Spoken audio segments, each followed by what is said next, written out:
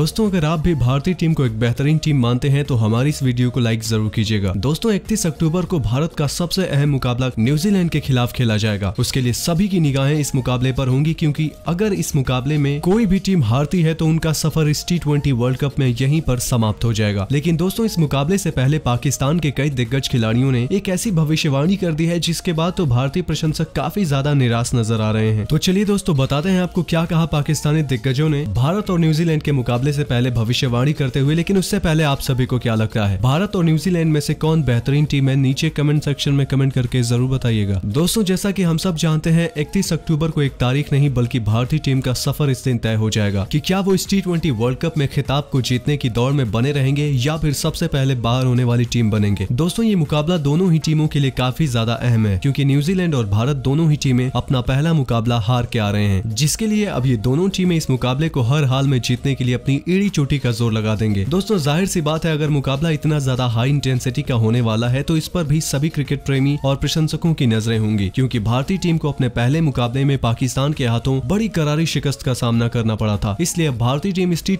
World cup में वापसी करने के लिए पूरी तरीके से तैयार होगी। और जैसा की हम सब जानते हैं, भारतीय टीम के खिलाड़ी ज़बरदस्त वापसी करने में विश्वास रखते हैं, और वो ऐसा करते हुए भी नज़र आएँगे, जब वो अपने अगले मुकाबले में न्यूजीलैंड जैसी तगड़ी टीम को हराकर ये साबित भी कर देंगे। और ऐसे भी भारतीय टीम को तो न्यूजीलैंड की टीम से पुराना हिसाब किताब चुकता करना है, क्योंकि न्यूजीलैंड की वही टीम है जिन्होंने 2019 के टी वर्ल्ड कप में भारतीय टीम को सेमीफाइनल मुकाबले में हराकर भारतीय टीम की टी वर्ल्ड कप जीतने की उम्मीदों को चकनाचूर करके रख दिया था। और वहीं उसके बाद 2021 की टेस्ट चैंपियनशिप में भारतीय टीम को हराकर खिताब अपने नाम किया था। इसलिए अब भारतीय टीम के पास एक अच्छा मौका होगा इन सभी हारों का न्यूजीलैंड की टीम से बदला लेने का। लेकिन अब देखना ये रहेगा कि कौन सी टीम इस मुकाबले को जीतने में कामयाब रहती है। दोस्तों, बता दें इस मुकाबले से पहले पाकिस्तान के खिलाड़ियों ने भारतीय टीम को चेतावनी भी दी है और उनके इस मुकाबले से पहले भविष्यवाणी करते हुए सभी भारतीय खिलाड़ियों और प्रशंसकों को काफ़ी ज़्यादा गुस्से में डाल दिया है। दोस्तों, बता दें, इस मुकाबले से पहले शोएब अख्तर ने भविष्यवाणी करते हुए अपने बयान में कहा है कि भारत और न्यूजीलैंड के बीच खेले जाने वाले मुकाबले में भारतीय टीम हर हाल में ये मुकाबला हारेगी, क्योंकि जिस टीम को हमारी पाकिस्तान ने इतनी बुरी तरीके से हराया हो, वो टीम न्यूजीलैंड के खिलाफ ना जाने कितनी बुरी तरीके से हारेगी। इसकी कल्पना तो भारतीय टीम का कोई भी खिलाड़ी अपने सपनों में भी नहीं लगा सकता है। पूरा विश्वास है कि इस मुकाबले में भारतीय टीम हार कर स्वाद चखेगी और आने वाले कई मुकाबलों में भी हार कर इस टी वर्ल्ड कप से बाहर हो जाएगी। दोस्तों, इसके बाद वसीम अकरम ने भी इस बात पर अपना बयान देते हुए कहा है कि भारतीय टीम टी वर्ल्ड कप में काफ़ी ज़्यादा कमज़ोर टीम नज़र आ रही है, क्योंकि जो टीम अपने पहले ही मुकाबले में इतनी बुरी तरीके से हार जाए, उसके लिए वापसी करना लगभग नामुमकिन होता है। इसलिए भारतीय टीम के लिए अभी से टी वर्ल्ड कप से वापसी करना लगभग नामुमकिन है। वही न्यूजीलैंड जैसी टीम के खिलाफ जिसके सामने तो भारतीय टीम ने हमेशा से ही संघर्ष किया है, चाहे 2019 के वर्ल्ड कप के सेमीफाइनल की बात की जाए, या फिर 2021 में टेस्ट चैंपियनशिप न्यूजीलैंड की टीम हर बार भारतीय टीम से बेहतर खेल का प्रदर्शन करती है और उन्हें हटाने में कामयाब रहती है। वहीं दोस्तों, इसके बाद शाहिद अफरीदी ने भी भारतीय टीम को कमज़ोर बताते हुए कहा है की इकतीस अक्टूबर को जब न्यूजीलैंड और भारत की टीम आपस में भिड़ती हुई नज़र आएगी तो इस मुकाबले में सौ न्यूजीलैंड की टीम ही जीतेगी, क्यूँकी न्यूजीलैंड एक ऐसी टीम है जिसने हमेशा ही भारतीय टीम को हराया है और उन्हें मालूम है कि वो किस तरीके से भारतीय टीम को हराने में कामयाब रह सकते हैं।